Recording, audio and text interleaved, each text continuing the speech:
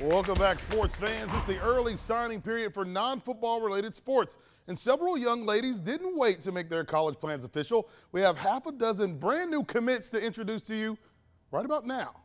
Here we go. Veterans Mackenzie Walls is going to run cross country and track in the ACC at Georgia Tech.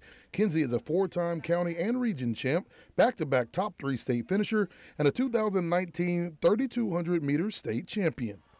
Her classmate Stacy Jones is headed to Kennesaw State after racking up 21 double doubles on the basketball court.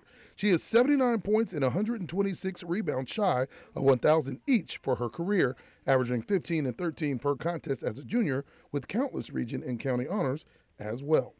Straight out of Eastman, Anaya Black is a three sport star athlete at Dodge County, competing in softball, basketball, and track and field. She played shortstop for the Lady Indians and helped lead them to four straight region championships and three Elite Eight appearances in Columbus, while maintaining a 517 batting average her senior year.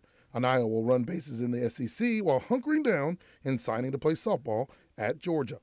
Over in Houston County, they boast a trio of softball Bears headed to the next level, including first year starter Deja Dunn, who is taking her All County, All Region 327 batting average to the Fort Valley State to be a student athlete for the Wildcats. Left fielder Lauren Ross was a three year starter who landed All County, All Region, and All State honors with 23 doubles on the season and a 385 batting average. Ross will suit up for the Middle Georgia Lady Knights next season. And former 13 WMAZ Athlete of the Week selection, Maddie Campbell, is soaring to Statesboro, taking her talents to Georgia Southern. Maddie has been a fixture on the Diamond starting every season while in high school, earning every level honors, including Region Player of the Year. She led the team with 186 hits, coupled with a near 500 batting average at 486.